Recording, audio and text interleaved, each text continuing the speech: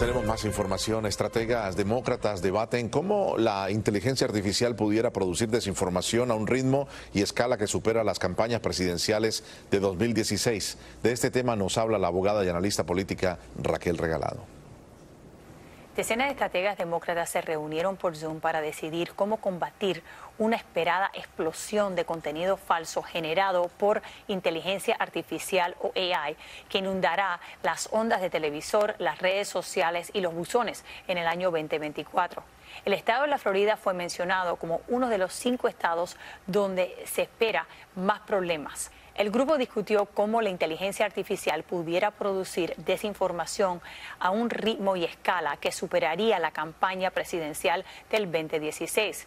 El grupo se enfocó no solamente en las cuentas falsas en las redes sociales, pero en la popularidad de complementos de inteligencia artificial como ChatGPT que se puede usar para clonar voces y crear videos falsos. Mientras tanto, la Junta de Directores de la Asociación Americana de Consultores Políticos condenó unánimemente el uso de deepfakes o falsos profundos en la publicidad política y solicitó la regulación de estas en plataformas de redes sociales por el gobierno federal.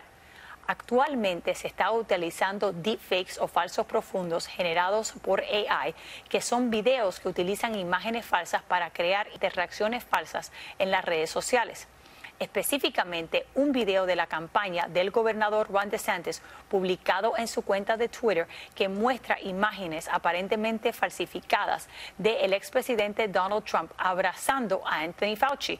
Es el primer que se ha utilizado en la campaña presidencial del 2024.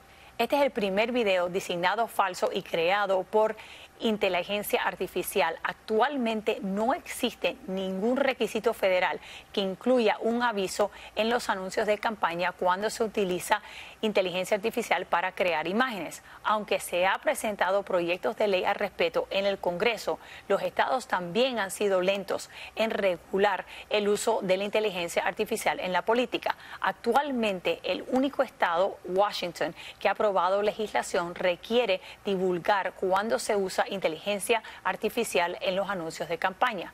Durante años se ha utilizado fotografías modificadas en los anuncios de campaña, pero el acceso actual y la inteligencia artificial facilita la aceleración y la creación de promoción de falsos profundos y su uso en campañas políticas. Se espera que este tema sea objeto de los debates presidenciales en el 2024.